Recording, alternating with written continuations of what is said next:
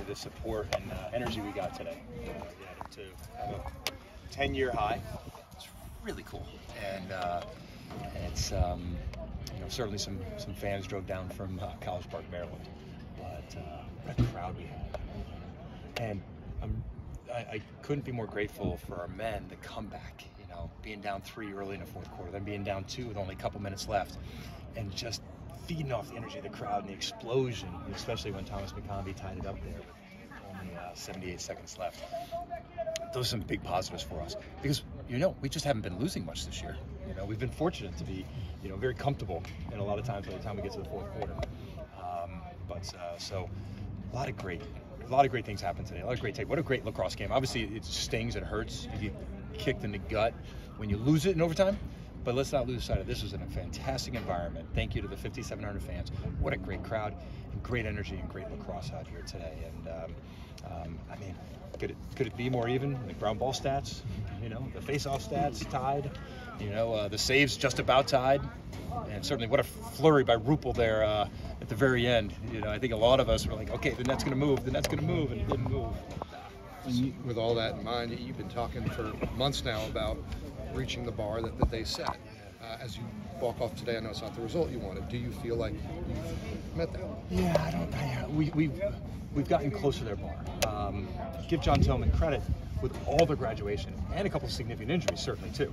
You know, Maliver on attack happened in the fall and losing Logan McNaney earlier this spring, and yet he's still getting his team to play at a really high level. So um, we have improved, no question. And um, but just, a little uncharacteristic that first quarter. You know, the number of turnovers we had. When PD's winning faceoffs, but the ball's rolling out of bounds.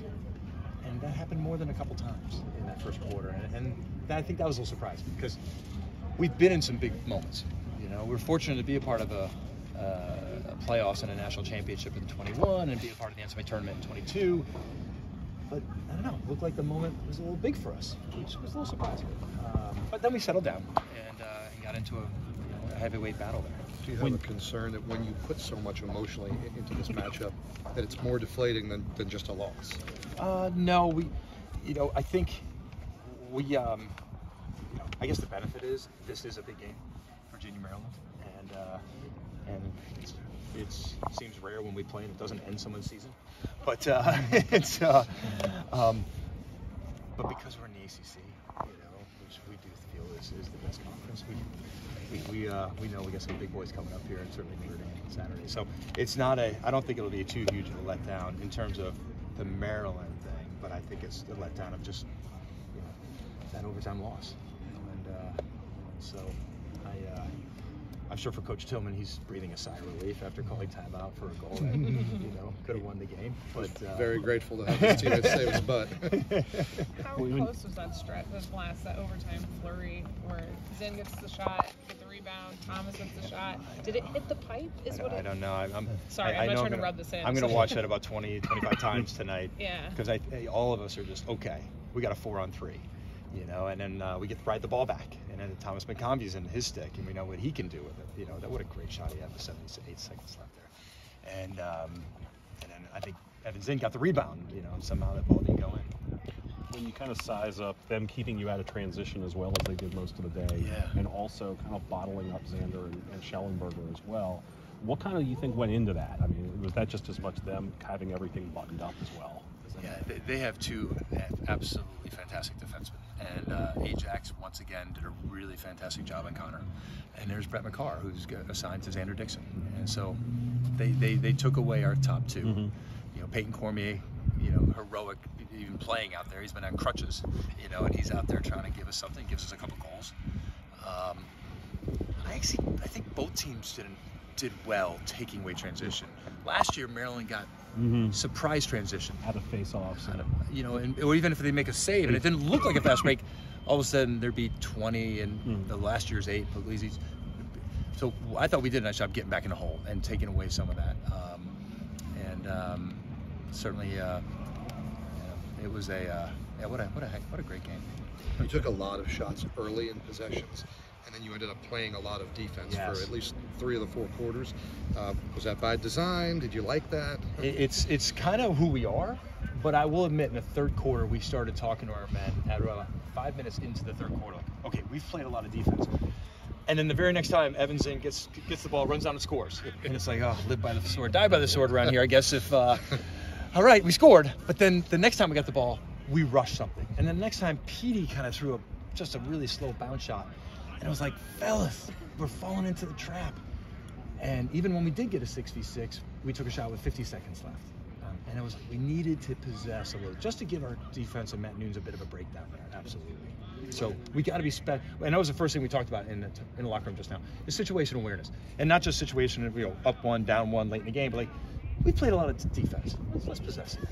And Coach, you mentioned Notre Dame earlier. Uh, certainly, you guys have a tough stretch coming up. So, how do you bounce back from this before you you enter into that that tough stretch? Yeah, I mean, first of all, focusing on that. L- t- Don't waste the opportunity of a loss. When you lose, you really get sharper in terms of trying to improve. And what don't, what are we not doing well enough? Uh, you try to improve with a win, and I've been trying to do that for 20 years. Uh, but it's easier to improve. It's easier to be more focused after a loss. You adjusted to Maryland's personnel and offense, slid from the crease. Yes. Were you encouraged by how the defense played, or discouraged? Is that something you might want to Yeah, try to do some more moving forward, or is that just Maryland? Yeah, you know, Maryland certainly they challenge you with such good ball movement. We didn't want to slide too early, but you got to be ready to slide because they've got good dodgers. In some ways, I felt, you know, I'm, I, I feel without reviewing the film, I feel pretty good about what our team defense did. But then I'm like, hmm, 13 goals in regulation, a couple transition, no real man up goals. They got one after the penalty expired. So I'm like, yeah, we must have given up at least 10 66 goals, and that's too many you know the goal is one a quarter and so that was too many in terms of 66 goals. So um, you know we certainly felt maryland dodging harder in the second half. They, they absolutely they went into halftime and said hey we got to dodge the score. Uva is faking slides. They're showing no going. They're only sliding if they really need to. And, and that, got, they got us. And they brought they were able to tie that game up and, then- and then take the lead there. Um, but I, I was just really impressed with Cade, with Cade Saustad with his checks and his one-on-one coverage and what he was able to do. And then Cole getting out there, especially that, that play in overtime, putting the ball on the ground. Um, so I saw a lot of positives, but yeah, it's Maryland. It puts you in that pickle if you don't slide. They've got some guys, and just we missed a couple of those. And there seemed to be a couple, sticking with the defense real quick, but it seemed to be a couple like late in the shot clock where the defense played great defense for 55 seconds. Mhm. Is that more encor- encouraging? Is that easier to fix than feeling like you gave up something too early? I mean, like where it's like really Right. good defense for the almost the entire shot clock, and they just make a really tough play on the crease. You're right, and and Maryland, like we said, especially in the second half, they were dodging the score. I even felt like in the late in the fourth quarter when they had a two-goal lead, they took a couple shots that, you know, they've been like, oh, I thought they would skill, kill 30 more seconds there, and you know, and so we had to be ready to slide. So, I um, there is a lot to be encouraged about, and I'm certainly really encouraged with Matt Nunes. He's made some big-time saves. You know, I know uh, number 22 came around and stuck that goal to put us down two with only a couple minutes left. Then Matt made another save after that, and he kept making. So uh, I thought it was a big bounce back game for Matt, who didn't have a great spring break week. All right, Thank you so thanks guys. Thank you.